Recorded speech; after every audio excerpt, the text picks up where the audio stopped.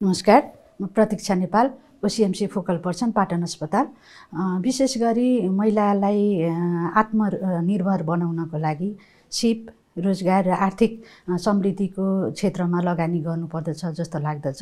र बाँच्नको लागि सङ्घर्ष गर्ने महिला अथवा अरूको भरमा आत्मनिर्भर नहुने महिलाको लागि यो एउटा स्वतन्त्रको एउटा आधारभूत आवश्यकता हो जस्तो पनि लाग्छ मलाई।